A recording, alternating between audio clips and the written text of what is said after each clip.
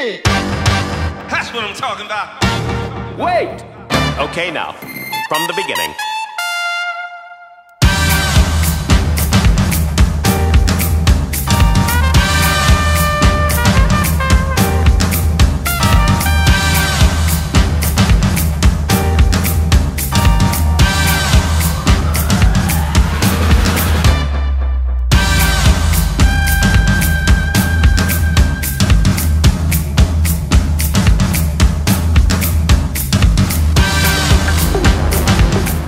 I got a later start than usual today, but I did that on purpose. Got below freezing the last two nights, and man, I just wanted to let it warm up a little bit. Still, it was a really cold boat ride getting out here. And I've got something special planned for today. Captain Lane Zimmer made some baits for me. They're mad mullets, they're paddle tail soft plastics, but they're in a color that you know I love. It's very similar to that black light Z-Craw that I fish all the time. Have great success with that bait. So I want to try these out today. Lane asked me to put them to the test. They're not available yet to the public. He wanted some feedback. So that's the point of today's fishing trip. Now, I've had the baits for a couple of weeks, and in that time, we've had some really good conditions to fish, but I haven't used them. Because to me, you shouldn't try prototypes on good condition days because you don't get a good read. Those days a fish will bite anything. Today, we've got the polar opposite. Conditions are horrible. I'm telling you, this is the worst fishing conditions I've faced in probably the last 12 months. The water is up. It is dead. Tide is dead. It is not moving at all. It's dirty and it's very cold. Water temp right now is 48 degrees. Finding speckled trout today will be an impossibility unless conditions change a whole lot as the day goes on. But I'm gonna be targeting reds and bass early with these prototype baits. And let me tell you, my expectations are not high. If I catch just one or two fish on this bait, I'll consider it a success. That's how bad conditions are today. But to be honest, I like the challenge. I'm really excited about fishing today.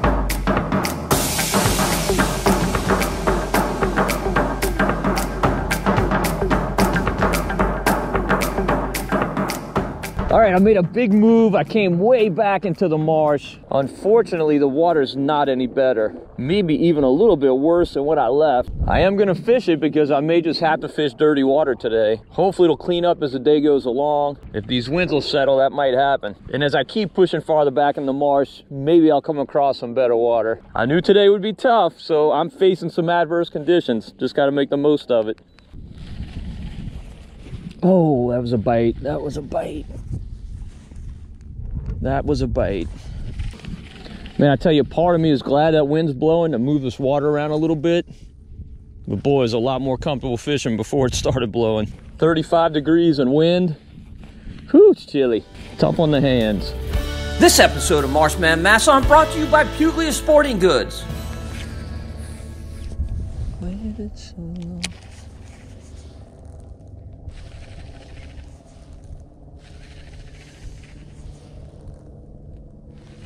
There's one. What are you? What are you? Oh, there we go. There we go. Nice bass. Another bass. Man, I gotta tell you, that's a sight for sore eyes with these conditions to be catching anything. Look how white this fish is. Tells you how dirty that water is. So that's the second fish I caught. Both of them hit the same way. Just a barely slight subtle tick. This water's cold. It's dirty. Just having to bump the fish right on the head. They're not moving far at all. Days like today are when you really got to fish with good equipment. I'm using this seven foot medium heavy Fitzgerald all-purpose rod and I've got to tell you it definitely played a role in catching both those fish I never would have felt those strikes with lesser equipment. It's just kind of how it's going to be today. A fish here, a fish there.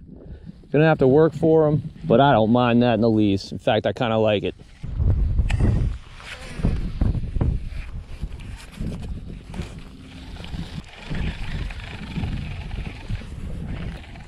Oh, there's a fish! What are you? What are you? What are you?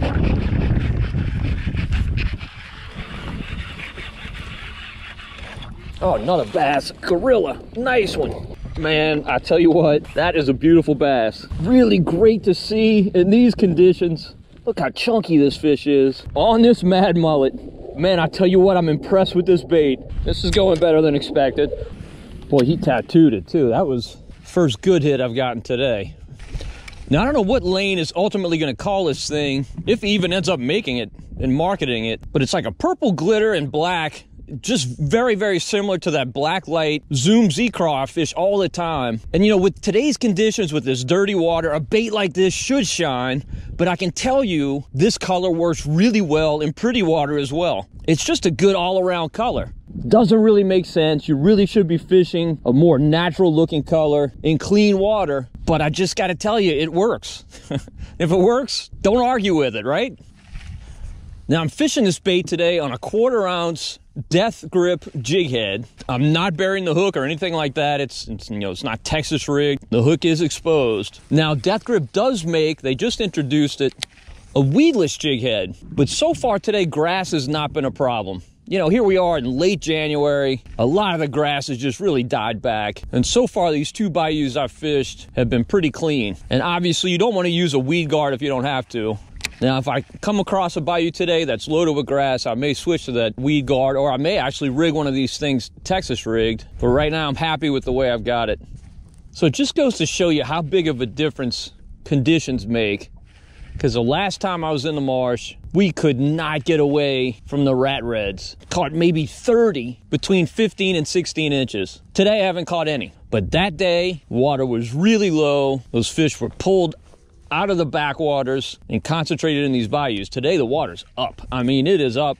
We've had northeast wind the past couple of days that's raised the water level, and those fish are just all spread out. Even though the water temp is 47 degrees, those fish are in those backwaters, particularly with this high sun. They can get back there, and it's quite comfortable for them. I would not be surprised if I don't catch a single redfish today. All right, I think I'm going to mosey on. I really want to see if I can find some prettier water. That's especially important in the wintertime. You don't want to fish dirty water in the winter. And look, I've already put several fish in the boat. I'm happy with my results so far, but I just want to stack as many of these conditions in my favor as I can because this water still is not moving a lick at all.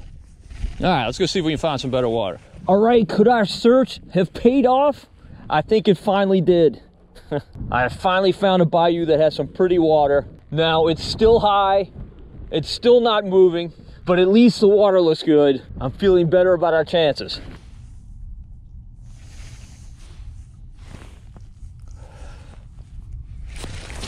Oh, you you you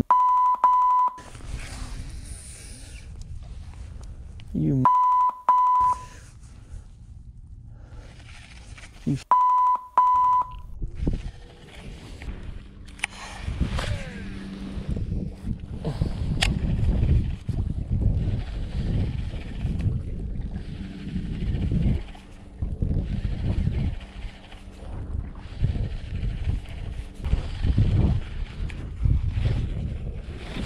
Oh, there's a fish.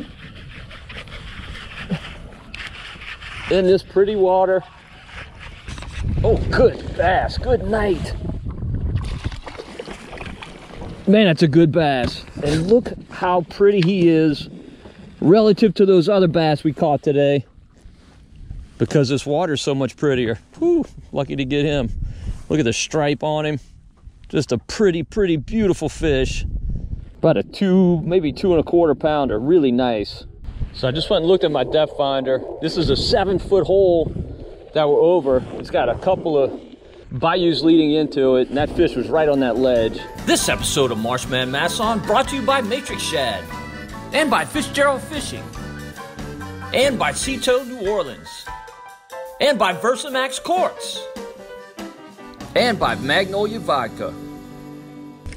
Now, in this bayou, I am picking up more grass on my exposed hook. If it gets too problematic, I think I'm gonna rig this bait on a Texas rig probably all this grass is the reason this water's a lot cleaner.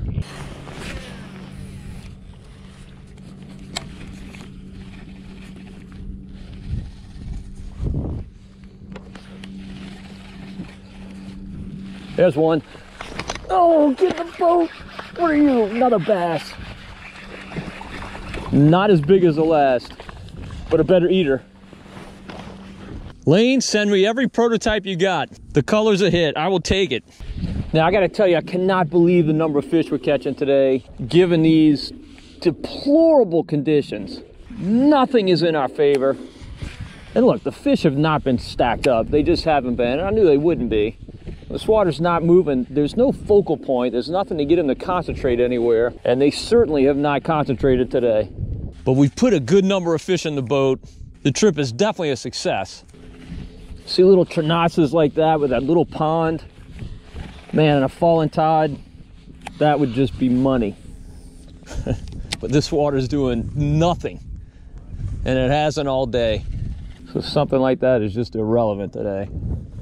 All right, so it's not a true test of a prototype if you don't throw something else, because otherwise, how do you know the fish just aren't going crazy today? I really don't think that's the case, but I gotta throw something else to see. So I've got my favorite blacklight Zoom Z-Craw, we'll see if we get some bites on it.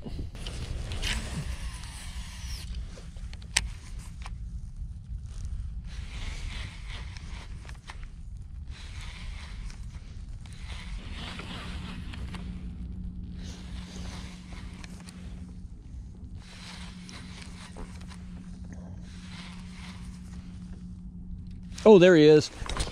Good night. Oh boy, was that a good hit. He came unbuttoned, but man, he smashed it.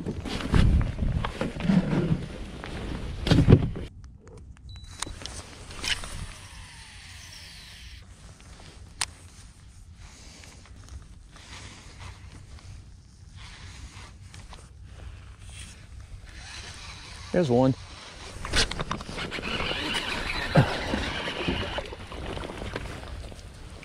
All right. That fish was way out. I mean, way out. I don't know if there's some kind of drop off right here. I couldn't really tell, but he was way out.